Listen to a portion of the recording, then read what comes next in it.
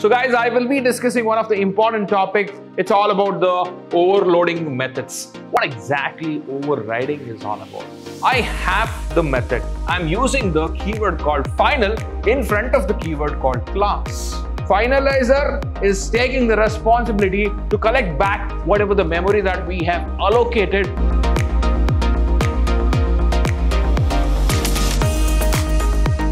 Hello everyone, I welcome all of you to the yet another interesting session in object-oriented programming with Java. So guys, what is that I have in this session? So let's understand that with the agenda. So guys, I will be discussing one of the important topics. It's all about the overloading methods. In the previous sessions, I have discussed what exactly the method overloading, but there is a change in this that is overriding. So what exactly this is is this overriding or overloading? So please observe carefully. So this is overriding. All right. So I will be discussing that in the next slide. So please make a note on that. So the next one that I have is final variable and methods. So what exactly this final variable and final methods? So it's again a interesting topic.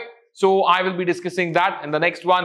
Finalizer methods and abstract methods and classes is what I will be discussing in this session. So guys, let's get into the session without wasting much of your time. So the first one that I have is overriding the methods. Let me give you a simple example. Let me explain this concept with a simple example. What exactly overriding is all about? I have the method, okay? I have the method. So what I can do with that method? So I will be changing the meaning or the functionality of that particular method so that is what I will be calling it as a overriding. Say for example, I have the method and the method is performing some function. So but what I will be doing is I will be changing the functionality of that particular method. So that process is what I will call it as a overriding. That method is what I will call it as a overriding. Sir, let's take an example. I have plus. What is that I have? I have plus. Usually what exactly this plus is doing? So this plus is performing addition. Yes or no? Yes, this plus is performing addition. So plus is a method, let's understand, but it is performing what? Addition. So let me change the functionality of this plus. That plus will remain as it is, but it will not perform addition, it will perform subtraction. So this is the concept of overriding. That's what you need to understand. The same case will happen even with the methods. When it comes to the concept of superclass and the subclass. What happens is, I have already defined a method. Say for example, my method name is display.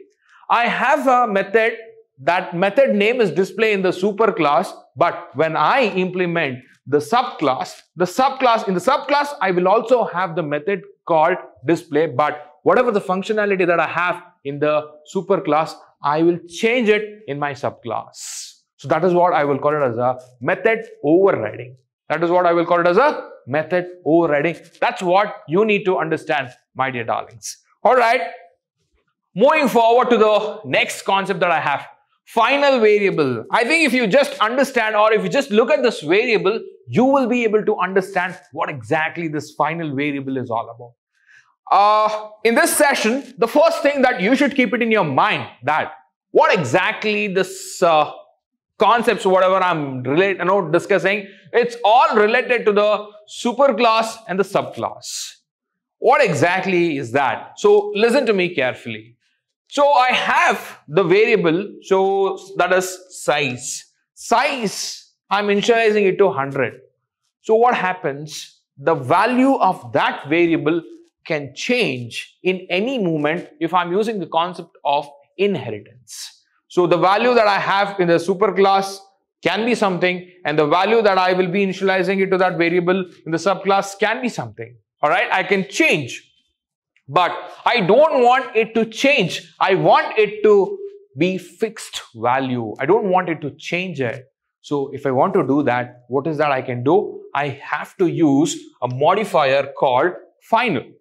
I have to use a modifier called final. If I use the modifier called final before the data type, so guys, that variable value will remain unchanged. That's what you need to understand. So after this, you cannot do the modification for this variable. That is what you need to remember. In the same way, guys, so the next topic, what I have. So please observe final class. When it comes to the final class, even here also, even in this concept also, I'm using the same modifier, but not in front of the data type, but in front of the keyword called class. So please observe, I'm using the keyword called final in front of the keyword called class. So what is that I'm doing here? The keyword final is making the class final. So it means to say that there is no more modification. So you cannot update or you cannot do any modifications there. Even if you override. So there is no possibility for the inheritance. So that is what you need to understand here. I cannot inherit further. So that is the final class. So there is no more modification. You have to use it as it is. If you want to you know, inherit or if you want to use it as a subclass and if you want to implement something else, no, there is no scope for that. You have to use it as it is. So that is the keyword speciality that is final. So that's what you need to understand with respect to the variable and with respect to the class. I said when it comes to the variable, so the value of that variable is final. So there is no change. When it comes to the class also, whatever you have in that class, you have to use as it is. So you cannot do any modifications further or you cannot inherit that class to the next level. So that's what you need to remember with respect to the final keyword. So fine. So you have understood this, both the things. What is next thing that I have? So please observe finalizer method. What exactly this finalizer method is all about? If I want to execute, I need resource. What exactly you are calling it as, sir? So resource in the sense, I mean to say that it is memory. It can be memory, mainly. So fine. If I want to execute some class, I have to allocate the memory for the object. Yes. So whatever the resource that you have allocated for that object, so after the execution of execution of that particular object, so I have to reallocate, is it? No, I have to deallocate the memory or the resource, whatever you have allocated for that particular object. Yes or no? Say for example, I'm giving you the pen. You don't. You, you say you you will tell me, sir, give me the pen. I, I have uh, no pen with me to write the notes. Yes, you take it and you start writing it. So once you are done with my class, what you will be doing? So you have to return back that pen to me. In the same way, for the object, you are the object here. I am giving you the memory. So once you are done with the execution, what is that you have to do? You have to return it back. So, but you are not doing it. So for that reason, I am keeping some guy so who is that guy? That guy is a finalizer. So finalizer is taking the responsibility to collect back whatever the memory that we have allocated for that object. So that is the specialty of finalizer methods. Probably you would have come across uh, in the C++ concept that we had a concept called constructor and destructor. So what is the role of destructor? Could you please go back and check? Yes, the same thing okay? We whatever we have allocated so we are deallocating. So we are collecting all the garbage collection. In fact we also call it as a garbage collector.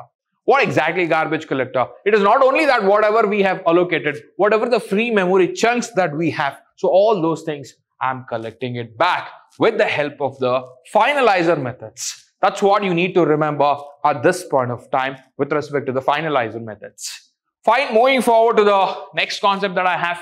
So I have abstract methods and class. You need to remember one thing if I say the word abstract.